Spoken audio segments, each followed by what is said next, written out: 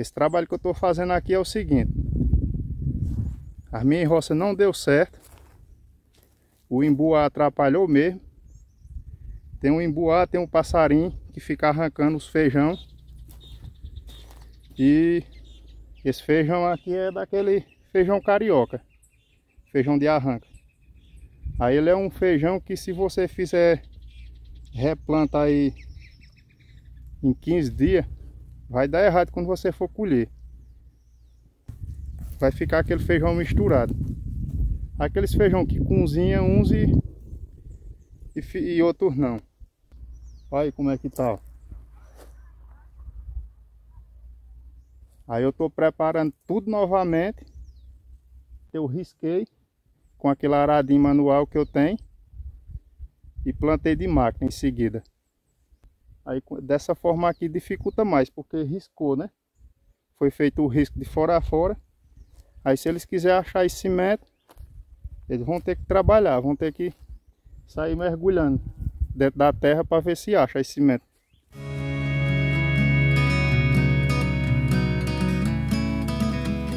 Tá com uns quatro dias aí que não chove. A terra tá molhada, tá meio zaroia. Deu tempo eu riscar ela, né, todinha fiz uma planta nova e o legume ainda não saiu para fora, né? Tá com dois dias que eu plantei e não choveu em cima. E os vizinhos vai passando ali. Tudo bom? Bom. E não deu, não deu certo sair ainda a cimento, aí eu tô jogando uma aguinha que é para ele estourar a cova, né? Mas o assunto do vídeo hoje é para dona de casa que gosta de cozinhar, que gosta do, da, daqueles temperinhos bem fresquinhos. E como eu já aprontei meu fogão e vou começar a fazer minhas, meus pratos, aí eu vou primeiro plantar um cheiro verde, um coentro, uma pimentinha de cheiro, cebolinha, tomate, esses temperinhos aí, né? Que a gente gosta. Aí eu quero dar uma dica para vocês mulher que cozinha e para homem também cozinheiro. Aí é simples. Você planta aí na sua casa. Não importa se você mora em apartamento ou se você mora dependendo aí da casa, o importante é ter sol, né? Se não tiver sol, nasce aqueles temperos amarelo, como se tivesse com anemia. Aí nem gosto tem, né? para botar na panela.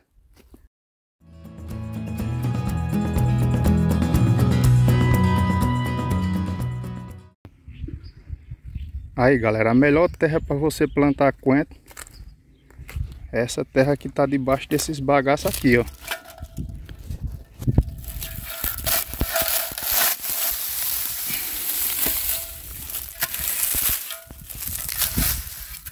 Essa terra aqui tá, aqui tá com toda a vitamina, viu? Aí, ó. O que você quiser germinar com essa terra, ela dá.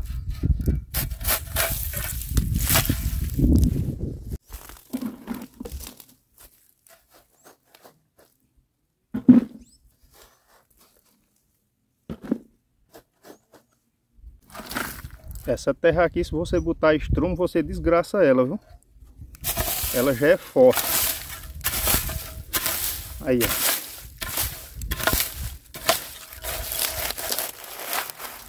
Eu faço minha muda usando essas terras assim, ó.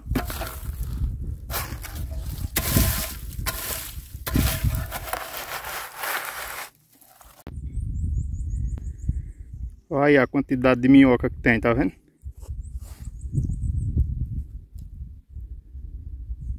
Essa terra aqui tá perfeita. Essa é a terra orgânica mesmo. Aí eu vou levar esse balde para a cidade. Eu não vou plantar coentro aqui não. A dica aqui é o seguinte. Você pode usar esses vasinhos aí, ó, que compra nessas casas de floricultura, né, de jardinagem. Essa daqui, se eu não me engano, é de 4 litros. Aí você pode usar dela.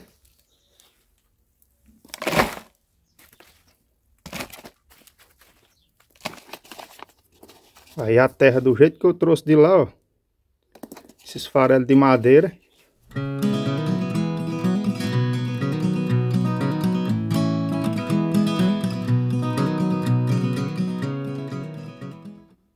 Essa tá no jeito. Ou você pode usar também uma manteigueira dessa assim, ó. Para reciclar. Essa é de de um quilo. É só cortar o, o fundo dela, né? Uma faca bem amoladinha você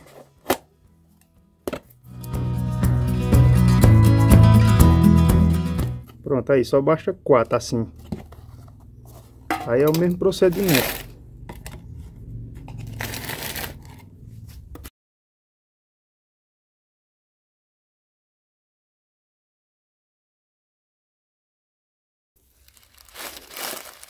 Eu comprei dois real de cimento de quenta. Dá pro cara fazer meio mundo de plantio. Isso aqui rende, viu? Tem gente que gosta de amassar esse cimento, né?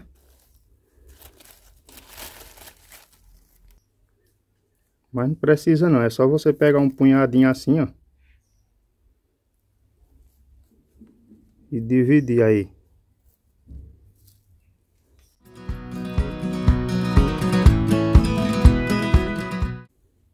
Você fazendo controlar e não vai faltar coentro na sua para suas panelas.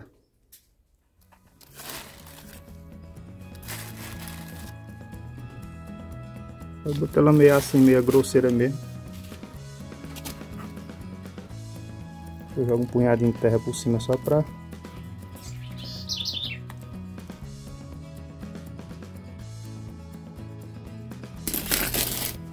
E essa daqui eu vou plantar cebolinha.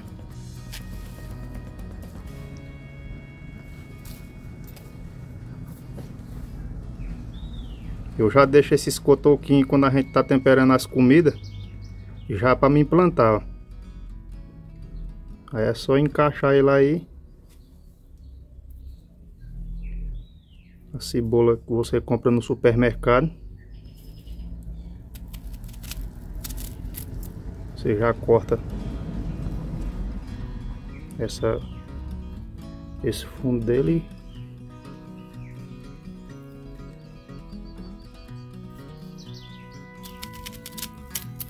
Pode ver que o fundo já tá até, ó. Saindo os brotinhos, as raízes. Aí quando pega a terra forte. Pronto, vai-se embora.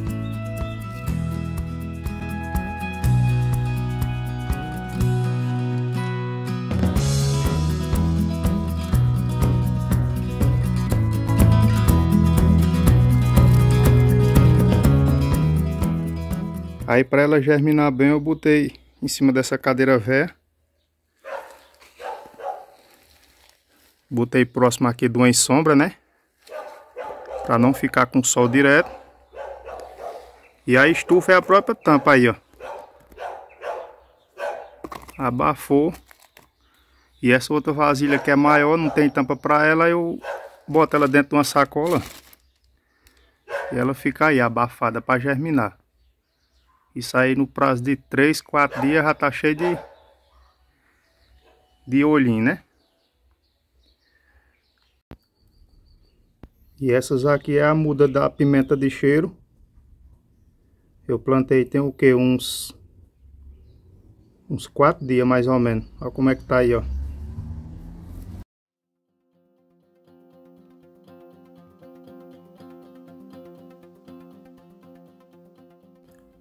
Ela molhadinha fica fácil de você tirar.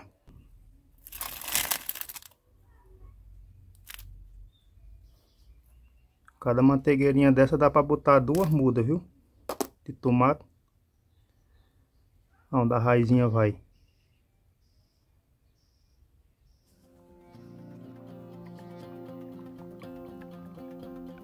Essa terra aqui tá menos forte. Aí ela agora vai desenvolver bem. E eu quero deixar um salve aí para a galera de Princesa Isabel. Especialmente para Alex, filho de Rita de Cássia, é, Luciano Casuzão e sua esposa Evaneide. Muito obrigado aí pela consideração. Eu fico feliz por você estar me acompanhando. E quero deixar um salve também para Reginaldo de Marinho, Ceará,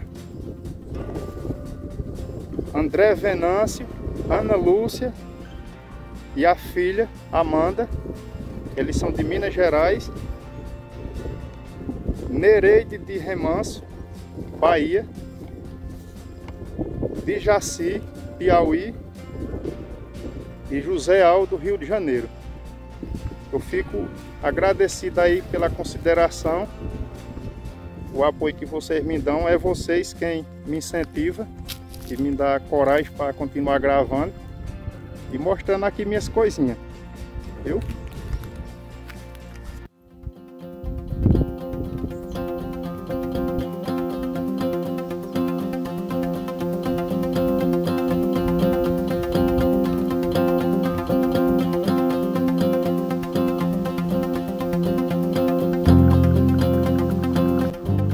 A fartura de goiaba esse ano vai ser boa, viu?